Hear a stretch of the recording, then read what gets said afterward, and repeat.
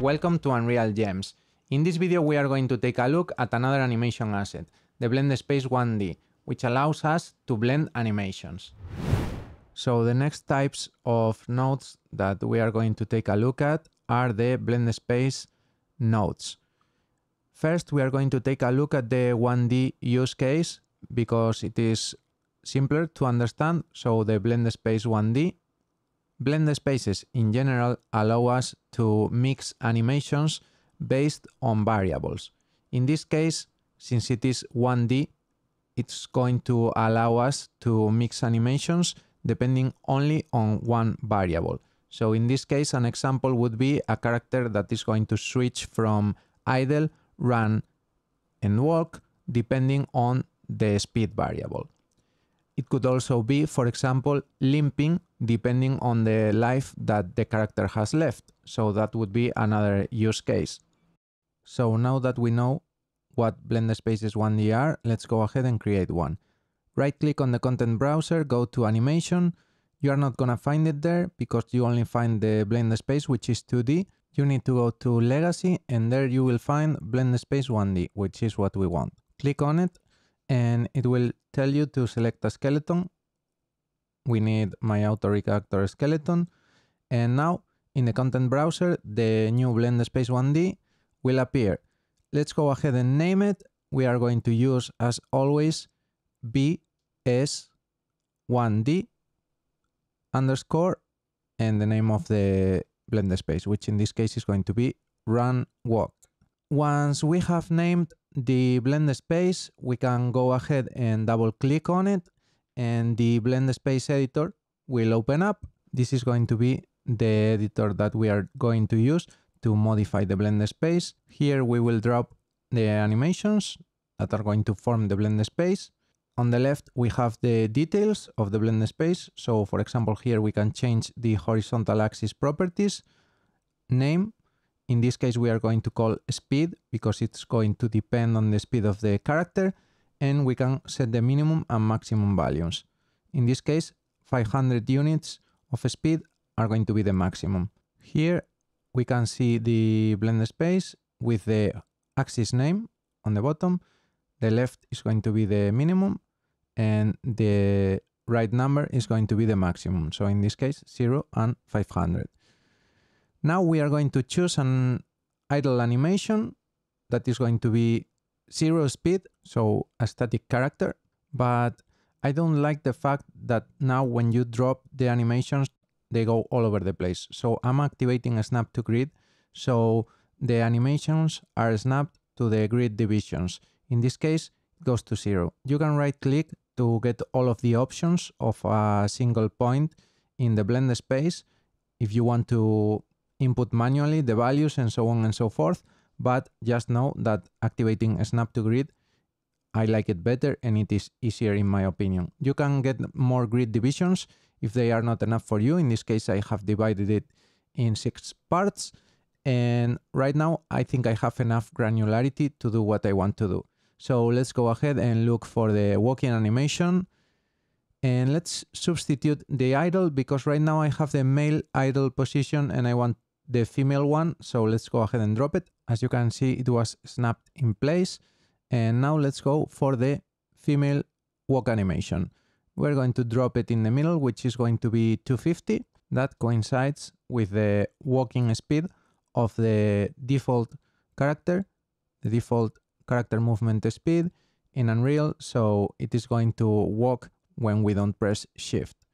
So here you can interpolate between points with uh, control. So if you hold control, you can move the mouse all over the place and it is going to let you preview the blend space. As you can see, everything is switching smoothly between animations. Let's add the run forward animation.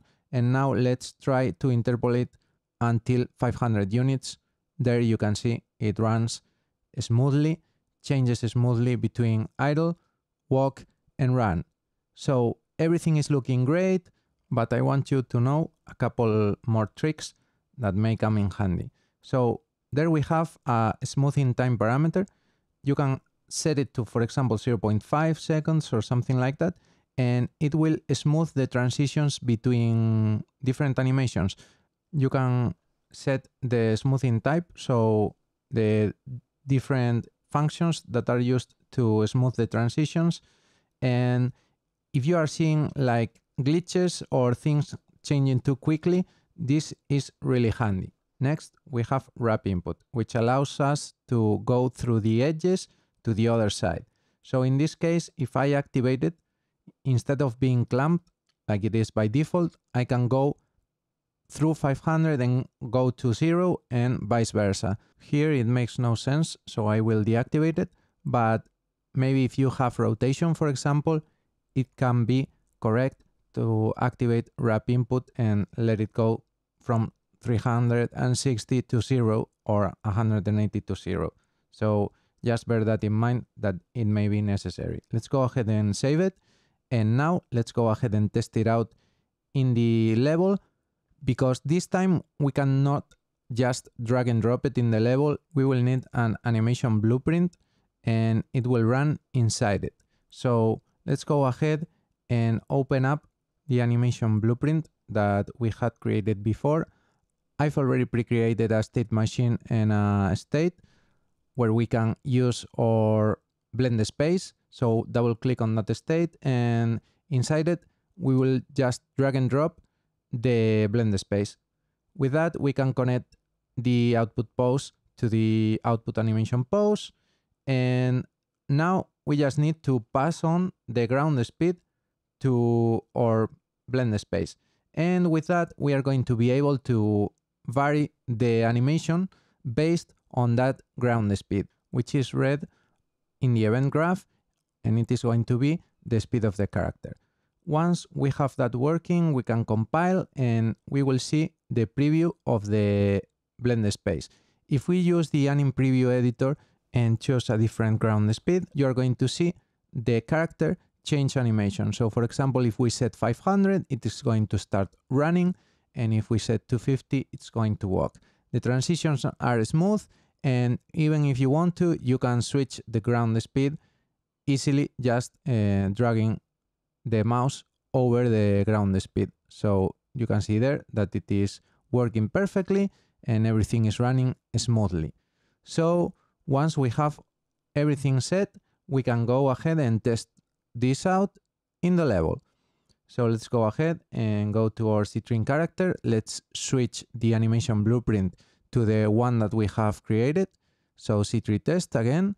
And right now, if we press play, you are going to see Citrin running and walking, depending on if we press shift or not. So you can see here walking, running, and if we stop, we get the idle.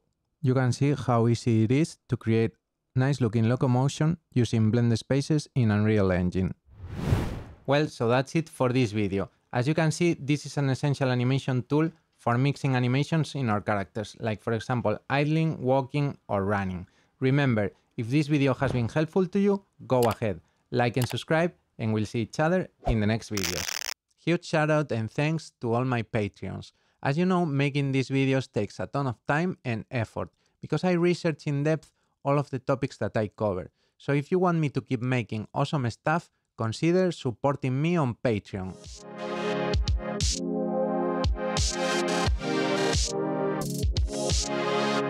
you